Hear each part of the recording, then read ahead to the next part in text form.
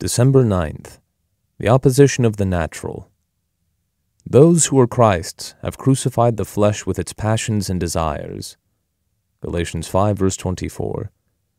The natural life itself is not sinful, but we must abandon sin, having nothing to do with it in any way whatsoever. Sin belongs to hell and to the devil.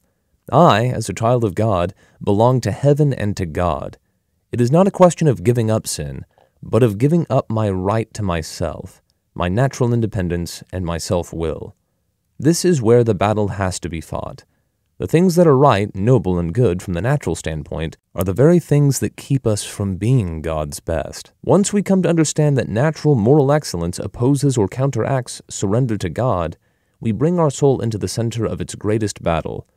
Very few of us would debate over what is filthy, evil, and wrong, but we do debate over what is good. It is the good that opposes the best.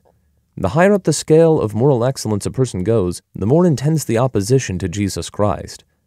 Those who are Christ's have crucified the flesh. The cost to your natural life is not just one or two things, but everything.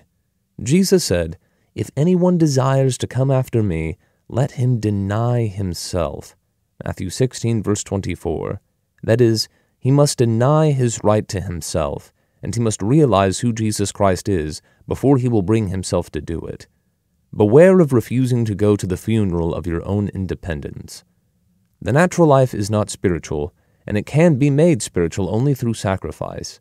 If we do not purposely sacrifice the natural, the supernatural can never become natural to us. There is no high or easy road.